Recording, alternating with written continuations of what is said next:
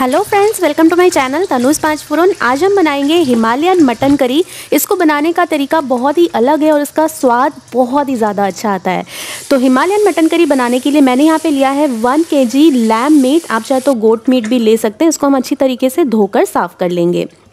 यहाँ पे मैंने लिया है प्याज, एक केजी मटन के लिए टोटल चार बड़े साइज़ के प्याज लिए हैं और इसको इस तरीके से हम स्लाइस स्लाइस कर लेंगे। मटन करी में प्याज हमेशा ज़्यादा ही डालें, इससे मटन करी का टेस्ट बहुत ही अच्छा आता है। अब मैंने लिया है पाँच से छः ये हरी मिर्च, इसको जस्ट हम चीरा लगा लेंगे बीच से और ये जो है ये बहुत ही तीखे वाले मिर्च है बुलेट चिली कहते हैं इसको। तो इसलिए मैंने ये पाँच से छः ही लिए हैं। आप टेस्ट के अकॉर्डिंग इसमें डाल सकते हैं। अब मैंने यहाँ पे लिए हैं ये टमाटर। तो टोटल डेढ़ बड़े साइज़ के टमाटर मैं इसमें ऐड करूँगी। छोटे हैं तो आप दो से तीन भी डाल सकते हैं। टमाटर को भी हम सिंपली चॉप कर लेंगे। मटन करी में प्याज ज़्यादा से ज़्यादा डालना होता है और टमाटर कम से कम। तो यहाँ पे मैंने सभी चीज़ों को कट कर लिया है। प्याज को इस तरीके से मसलते हुए हम प्लेट पर रख देंगे ताकि इसके जो लेयर से बढ़िया से खुल जाए और फ्राई करते समय हमें आसानी हो। अब मैंने यहाँ पे लिया है एक लहसन का गाठ और आप देख सकते हैं लहसन जो है, कलियाँ जो है काफ़ी बड़े साइज़ की है, इसलिए मैंने एक ही गाठ लिया है और एक गाठ को हम कद्दूकस कर लेंगे और बाकी और पाँच से छः लहसन की कलियाँ जो है हम ऐसे ही साबुत डाल देंगे। छोटी लहसन की कलियाँ हों तो आप दो से तीन गांठ भी इसमें डाल सकते हैं और सैगा गांठ भी आप इसमें डाल सकते हैं। यहाँ पे मैंने लिया है दो इंच अदरक का टुकड़ा, इसको हम छील लेंगे और इसको भी हम कद्दूकस कर लेंगे। तो सभी चीज़ों को कट करके तैयारी मैंने कर ली है। अब हमें करेंगे बहुत ही इंपॉर्टेंट काम मटन मैंने ले लिया है धोकर साफ़ करके। कटोरी रख देंगे बीच में और इसमें हमें ऐड करना है एक बहुत ही डिफरेंट और ज़बरदस्त वाला फ्लेवर जिससे कि लगेगा कि हमने इसको लकड़ी के आग में पकाया है। तो मैं यहाँ पर ले रही हूँ ये कोयला, जिसको मैंने जला लिया है, इसको हम रख देंगे और इसमें हम डालेंगे तुरंत थोड़ा सा घी। वन फोर टीस्पून हम इसमें घी डाल देंगे या बटर डाल देंगे और जैसे ही घी डालें, इसको तुरंत हमें ढक देना है ताकि ये जो धुआँ है बिल्कुल बाहर नहीं जाना चाहिए और ये जो होल है आप देख सकते हैं, इसको भी मैंने बंद कर दिया है। तो इसको हम 10 मिनट के लिए इसी तरीके से छोड़ देते हैं ताकि ये जो फ्लेवर है धुएँ का, ये बिल्कुल मटन में आ जाए और उसके बाद जब हम पकाएँगे ना ये मटन तो घर के सारे लोग बिल्कुल फिदा हो जाएँगे आप पर और जब भी नेक्स्ट टाइम मटन बनेगा तो आप ही से कहेंगे कि आप ही मटन बनाए। कोल आपको बहुत ही आसानी से ऑनलाइन मिल जाएगा अमेजोन पर आप सर्च कर सकते हैं बाबी क्यू कोल या फिर कोई भी प्रेस वाले की दुकान में भुट्टे वाले के पास आपको आसानी से एक टुकड़ा कोल तो मिल ही जाएगा। तो सारा फ्लेवर ऐड हो गया है। अब गैस पर रख दिया है मैंने कुकर। इसमें हम डाल देंगे चार से पाँच बड़े चम्मच सरसों का तेल। मटन करी हमेशा सरसों के तेल में ही बनाए या फिर घी में बना सकते हैं, लेकिन और दूसरा कोई तेल ना यूज़ करे। तेल गर्म होते ही हम डाल देंगे इसमें सारे खड़े गर्म मसाले। दालचीनी का टुकड़ा, एक सूखा लाल मिर्च, तीन हरी इलायची, दो बड़ी इलायची, पाँच से छः लौंग, एक छोटा चम्मच काली मिर्च और एक चक्रफूल। साथ में हम डाल देंगे दो से तीन बीच से कटी हुई हरी मिर्च। बाकी का हरी मिर्च हम बाद में डालेंगे और साथ साथ डाल देंगे आधा छोटा चम्मच ज़ीरा और आधा छोटा चम्मच सौंफ। इन सभी चीज़ों को हम कुछ सेकंड्स के लिए फ्राई कर लेंगे ताकि बढ़िया सा फ्लेवर जो है तेल में आ जाए। मसाले हो गए हैं फ्राई अब मैं इसमें ऐड कर दूँगी हमारा मटन तो बनाने का तरीका अलग है क्योंकि इसमें हम पहले मटन को फ्राई करेंगे लगभग पाँच से छः मिनट और उसके बाद हम इसमें प्याज डालेंगे। तो बनाने का तरीका अलग तो टेस्ट भी अलग, बहुत ही ज़बरदस्त बनेगा। लगभग हम पहले इसको तीन चार मिनट फ्राई कर लेंगे बढ़िया सा, ताकि ये जो सारे खड़े गरम मसाले हैं, इसका फ्लेवर इसमें ऐड हो जाए। और साथ में हमने कोल का फ्लेवर तो ऐड किया ही है। बस एक बार अब इसको ट्राई ज़रूर करके देखें। मटन को तीन चार मिनट फ्राई कर लेने के बाद अब हम इसमें ऐड करेंगे मसाले। तो दो बड़े चम्मच हम इसमें धनिया का पाउडर डाल देंगे। साथ ही हम इसमें डालेंगे दो बड़े चम्मच काश्मीरी लाल मिर्च, बढ़िया सा कलर आएगा, लाल लाल सा। तीखा आप अपने टेस्ट के अकॉर्डिंग डाल सकते हैं। तीन चौथाई छोटा चम्मच हल्दी पाउडर ऐड करेंगे। एक छोटा चम्मच हम इसमें ज़ीरा पाउडर डालेंगे। जब भी हम इसमें मसाले ऐड करेंगे, गैस की फ्लेम को पहले आप लो पर कर दें ताकि मसाले बिल्कुल भी जले नहीं और उसके बाद इसको हम बढ़िया तरीके से मिक्स कर लेंगे।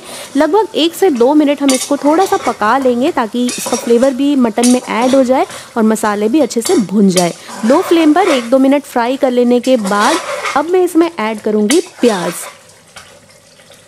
ये देखिए, ये हो गए हैं फ्राई। अब हम इसमें ऐड कर देते हैं हमारा प्याज। इसको बनाना बहुत ही आसान है और कोई भी ज़्यादा हमने ऐसे खास मसाले नहीं डाले हैं जिसको डालना बहुत ही झंझट है या घर पर नहीं हो। सारे मसाले घर पर बहुत ही आसानी से मिलेंगे ही और आप इसको आसानी से बना सकेंगे, बस आपको कोल जुगाड़ करना है। तो यहाँ पे मैं डाल रही हूँ, ये कूट कर रखा हुआ अदरक और लहसन। आप चाहे तो अदरक, लहसन का पेस्ट बनाकर भी डाल सकते हैं और क्वांटिटी मैंने पहले ही बताई है। साथ साथ हम ये पाँच से छः लहसन की कलिया साबुत वाली डाल देंगे। आप चाहे तो इसकी जगह में एक साबुत लहसन का गांठ इसमें डाल सकते हैं, पर मैंने छील कर लहसन की कलिया ऐड की है। सभी चीज़ों को अच्छी तरीके से एक बार मिक्स कर देंगे और इसमें हम साथ ही में ऐड कर देंगे स्वाद अनुसार नमक। नमक डाल देंगे तो प्याज और मटन जो है बहुत ही अच्छी तरीके से पक भी जाएगा जल्दी से और साथ साथ नमक जो है मटन के अंदर तक पूरी तरीके से अब्जॉर्ब हो सकेगा। तो बढ़िया से कर लेते हैं मिक्स अब हम गैस की फ्लेम को मीडियम पर कर देंगे और इसको हमें पकाना है आधे घंटे तक। जितने ज़्यादा देर तक आप मटन को पकाएँगे फ्राई करेंगे, इसका स्वाद उतना ही अच्छा आएगा। आधे घंटे पकाएँगे, लेकिन हर पाँच मिनट में इसको खोलकर हमें चला लेना है ताकि मटन नीचे से जले नहीं। तो पाँच मिनट के बाद मैं इसको खोलकर इस तरीके से चला रही हूँ। वापस से हम पाँच मिनट के लिए ढक देंगे, फिर पाँच मिनट के बाद इसको वापस से आके चलाएँगे। तो टोटल मटन को पकते हुए हो गए हैं पंद्रह मिनट। खुशबू मेरे सारे घर में अभी से फैल गई है। बहुत ही ज़बरदस्ती खुशबू आ रही है, लेकिन मटन तो अभी पका ही नहीं है। तो इसको चला लेंगे बढ़िया तरीके से और फिर हम इसमें ऐड कर देंगे स्टेज में टमाटर। तो टमाटर, मैंने पहले ही बताया कि डेढ़ बड़े साइज़ का टमाटर लिया है। टमाटर कम से कम डालें, मटन करी में ज़्यादा टमाटर नहीं डालना है, वरना टेस्ट इसका बिगड़ जाता है। तो अच्छी तरीके से वापस से मिक्स कर देंगे और वापस से हम इसको ढक करके हर पाँच मिनट में चलाते हुए पकाएँगे और पंद्रह मिनट के लिए। टोटल आधे घंटे तक हमें मटन को इसी तरीके से चलाते हुए फ्राई करना है, मसालों के साथ, प्याज के साथ, सभी चीज़ों के साथ पका लेना है। इससे इसका टेस्ट बहुत ही अच्छा आता है, सारे मसाले बढ़िया से अब्जॉर्ब हो जाते हैं। तो ढक देते हैं टोटल इसको पकते हुए और पंद्रह मिनट हो गए, यानी कि टोटल मटन जो है, आधे घंटे तक पक गया है। आप देख सकते हैं इसका कलर, इसका टेक्सचर सारा चेंज हो गया अच्छी तरीके से फ्राई फ्राई सा हो गया है। इसको एक बार हम बढ़िया से और मिक्स कर लेते हैं और उसके बाद हम इसमें ऐड कर देंगे पानी। तो जितनी ग्रेवी चाहिए, उस हिसाब से हम इसमें पानी डालेंगे और उसके बाद अगर नमक चाहिए तो आप डाल सकते हैं एडजस्ट करने के लिए।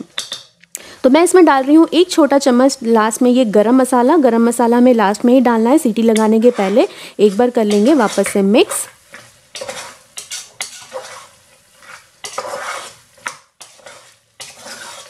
तो ये हो गया है मिक्स बहुत ही अच्छी सी खुशबू आ रही है।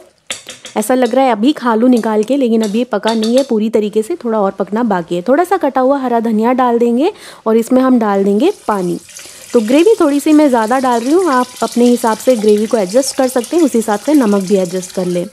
तो एक बार पहले कर लेते हैं मिक्स उसके बाद ज़रूरत हो तो थोड़ा सा पानी और डाल देंगे। आधा घंटा मटन को मैंने पका लिया है। अब मटन के ऊपर डिपेंड करता है कि आपने लैम मीट लिया है गोट मीट लिया है, छोटा बकरा था या बड़ा बकरा था, उसके अकॉर्डिंग मटन का टाइम डिपेंड करता है पकने के लिए और साथ ही कुकर पर भी। तो आधा घंटा के बाद मैं इसमें जब सीटी लगाऊँगी तो मुझे तीन सीटी की ज़रूरत पड़ेगी। आप इस चीज़ को अपने हिसाब से एडजस्ट कर ले। टोटल हमें इसको आधे घंटे फ्राई करना है, उसके बाद हमें इसमें सीटी लगानी है। तो सीटी आप अपने हिसाब से एडजस्ट कर लें। कम ज़्यादा हो सकती है, लेकिन मटन पूरी तरीके से पकना चाहिए। तो इसको कर लिया है मैंने बढ़िया से मिक्स अब हम इसका ढक्कन लगाएँगे। तीन सीटी आने तक पकाएँगे। तीसरी सीटी के बाद गैस की फ्लेम को बंद करके सारा प्रेशर निकलने देंगे अपने आप।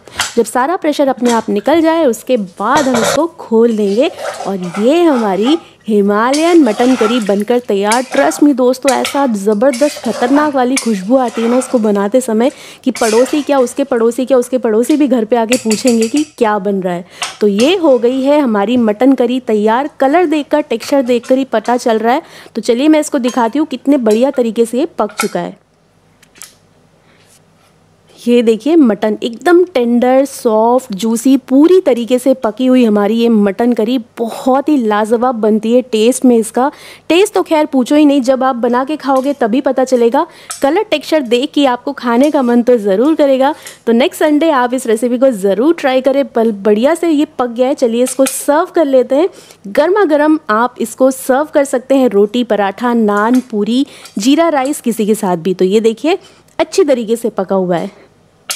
तो इसको हम कर लेते हैं गर्मा गर्म सर्व इस ठंडे ठंडे मौसम में गर्मा गर्म तीखी तीखी वाली इस हिमालयन मटन करी को ज़रूर ट्राई करें दोस्तों।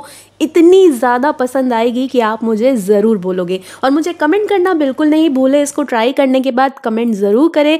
रेसिपी अच्छी लगी हो तो थम्सअप दे और साथ ही अपने दोस्तों के साथ भी इसको ज़रूर शेयर करें। और अगर आप पहली बार मेरे चैनल पर आए हैं तो प्लीज़ मेरे चैनल को सब्सक्राइब ज़रूर करें। Thanks for watching